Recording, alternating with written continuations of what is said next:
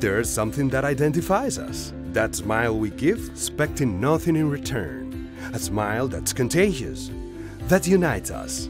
A sincere, happy smile. A Colgate smile. We know it's a great value.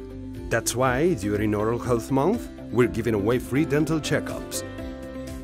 Find out more in the press or visit our website and let's keep smiling.